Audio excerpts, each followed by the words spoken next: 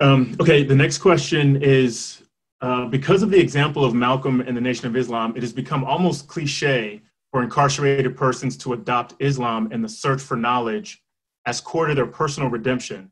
And so the, the viewer is interested in your take on that legacy for today's prison education and personal redemption efforts slash narratives. Uh, and so I think, you know, again, going back to the pop culture, there's, remember in Living Color, there's like, the, I forgot the character's name, but he goes to prison and comes out using all of these very big words and sort of the implication is that uh, the nation has become a place for his education and, and knowledge and he becomes enlightened there but does so in a way that is um, i mean they, they sort of poke fun at it a little bit but there does seem to be something to uh, people discovering a spirituality through the nation while incarcerated. And i guess the question is kind of getting at is there something to the redemption that folks find in the in that religion in prison um, that's analogous to efforts just around general educational redemption efforts for the current moment around you know second chances and and uh, reducing recidivism that sort of thing? Yeah. I mean i think um, obviously there are many reasons to adopt spirituality while caged right? I mean there's right. yeah. you know so i think just setting that aside and not um, trivializing that in any way. Um, but also i mean i'm a big supporter um, very active in political education efforts inside working with incarcerated people to make sure that um, radical material gets into prisons. Um, you know it's a the next project i'm working on is a biography of martin sostre who is um, a, a figure mentioned in the book uh yeah. yeah so he so he becomes a political prisoner um, actually in the late 60s, but before that he characterizes himself as a politicized prisoner, someone who came to prison and became politicized around conditions of confinement.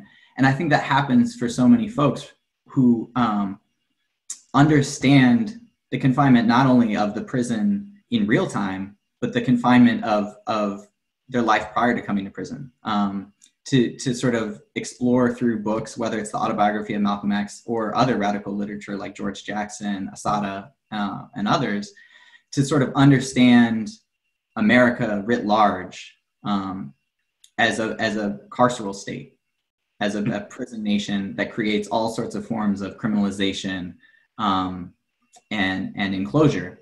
So, so I think the prison is absolutely a space of of politicization um, and we should encourage that and organize with people inside um, and really make sure that uh, radical literature gets inside. Because if we think back to Malcolm's own politicization in prison, I mean, I think he plays up in the autobiography the extent to which he's apolitical when he comes to prison. Like his parents right. were Bundyites, so he's not new to this.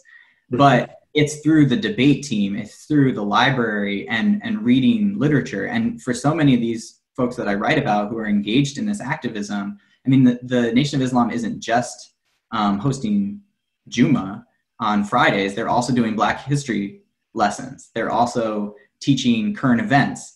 So it's a whole program of understanding the world around you and your role in it. And I think that's something that um, that we should all be supportive of. Yeah.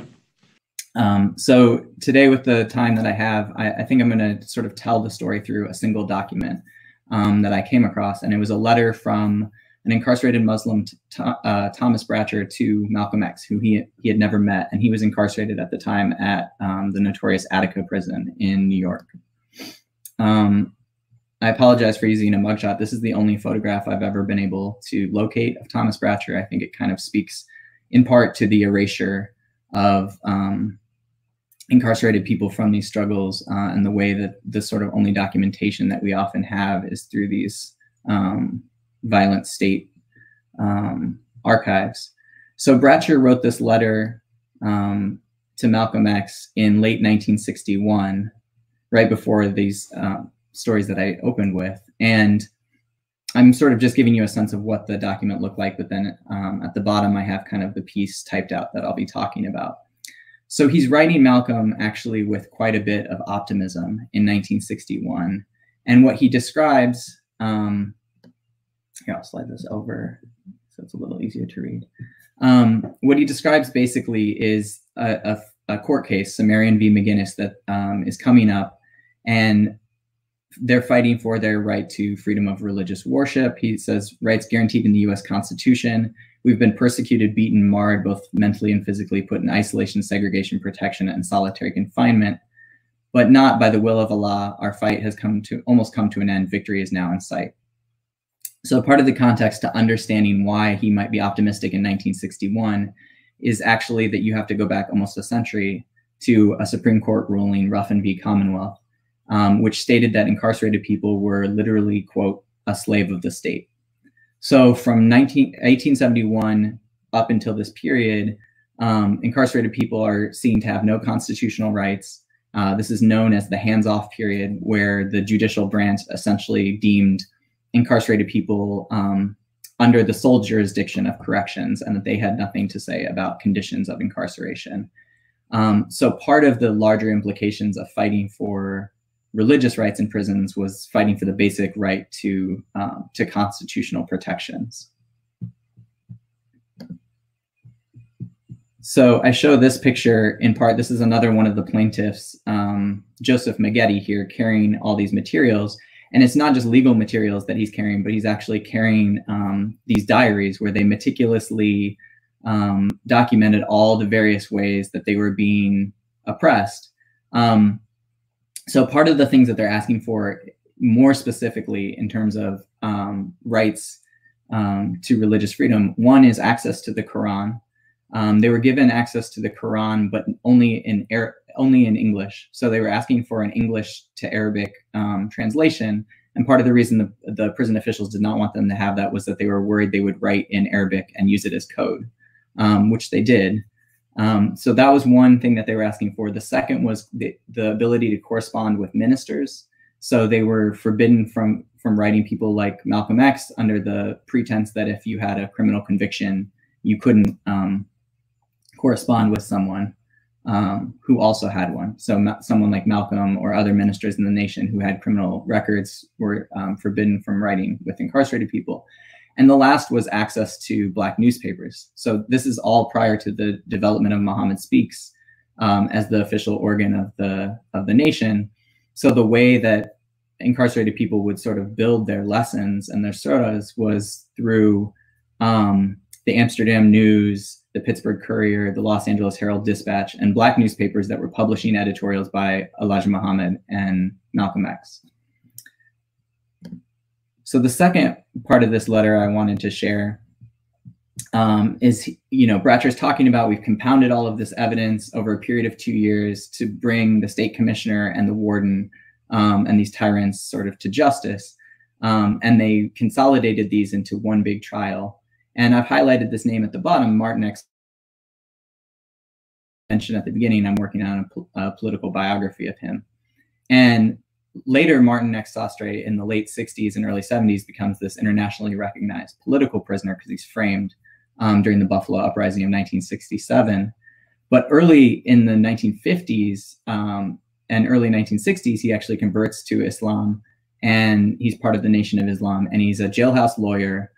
Um, and he's the one who's sort of preparing all of these legal uh, cases that are going to the courts. So what he would do is write a writ and people could simply fill in their names. So he's writing all these cases that people can consolidate into one trial.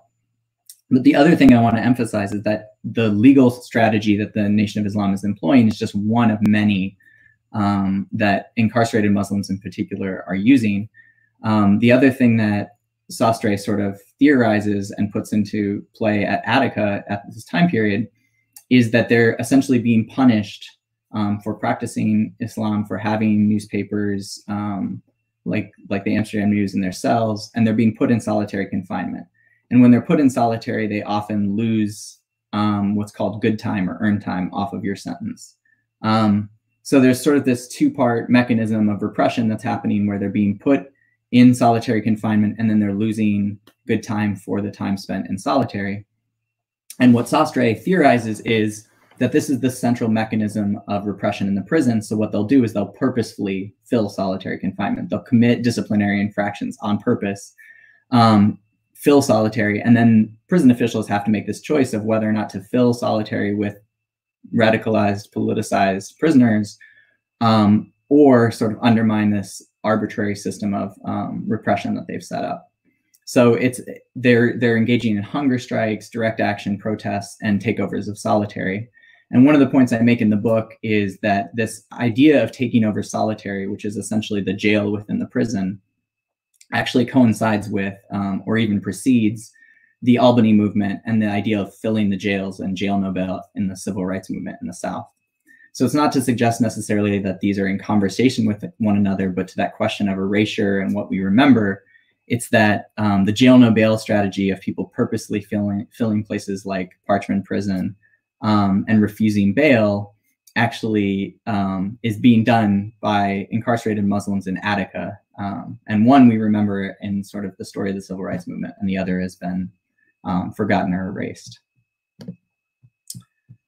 And this is a, a portrait of Martin Sostre that was done in the in the 70s by one of his comrades who tried to free him, and he was he had his sentence commuted in 1975. So this is from a later part in the letter, um, and Bratcher is basically talking about how they've compounded all of this evidence for several years to bring this case against the state commissioner and the warden of Attica, um, calling 20 Muslims as witnesses from every major prison in the state um, to sort of be coalesced into this one trial. And one of the reasons I bring this up is because in these early cases that they brought um, prior to SaMarion v. McGinnis, they were just litigating issues like access to the Quran. So that by the time they get to trial, essentially the judge says, you can imagine what prison officials did. They made sure that by the time it got to trial, they actually did have access to the Quran. So the judge says, well, there's nothing left here to litigate. And when the plaintiffs start raising things like solitary confinement and good time practices, the judge says, well, that's not actually something that I can litigate because it's not in the writ. So he does sort of give them an opening, which he says, you know, if you really wanted to change the rules of the prison, you shouldn't sue the warden because the warden doesn't make the rules, the state commissioner does. So there's sort of this period of um, trying new strategies throughout the late 1950s, into the 60s, where two things happen. There's a widening of the scope of the trial to include persecution for religion as well as access to the Quran and to black newspapers and there's a widening of who's being charged so um, or sued. So it's not just the warden it's eventually the state commissioner and then the governor. Um, and the other piece of this letter that i wanted to bring your attention to is he talks about um, being held in solitary confinement with um, brother sostre x SaMarion x. Um, so at the time i didn't know who martin x sostre was. I sort of looked up um, again, there aren't very many photos of, of Sostre either. This is a portrait painted by one of his um, political comrades um, later in life. So Sostre actually becomes this really well-known uh, political prisoner in the late 1960s, early 1970s. By that point, he gets out in 64, starts an Afro-Asian bookstore um, in Buffalo, New York, and he has this whole sort of political um, second political life that's much better known in the late 60s, early 70s as a political prisoner who's eventually has his sentence commuted um, by Governor Carey in 1975. But during this earlier period, he's what he would come to describe as a politicized prisoner, where he converted to the Nation of Islam, um, became politicized around these issues, and he was also a, a, a jailhouse lawyer who's the one, he is the one who's writing all of these cases that are being compounded um, into a trial. And what he would do is he would write exactly the same writ and then give them to people to write their name onto.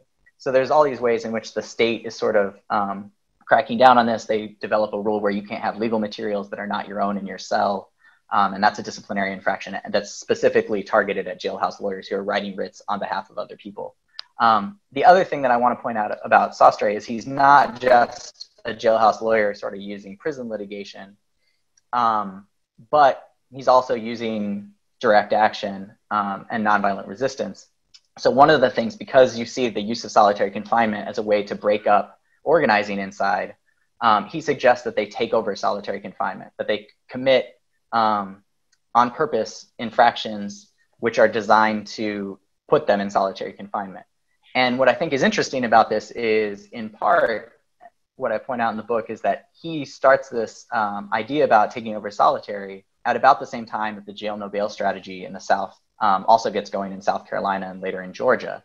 And one of these, if you're familiar with jail no bail, has its sort of um, place in the annals of civil rights history as the strategy of you know, instead of posting bail and losing money over and over and over, just getting arrested and arrested, taking the, the mechanism of repression, you know, the jail, and filling it until it's no longer effective. And that's what Sostre is talking about with the sort of jail within the prison, which is solitary. He says the box, once the box, um, you know, breaks down, the whole system um, follows because that's the central mechanism of repression.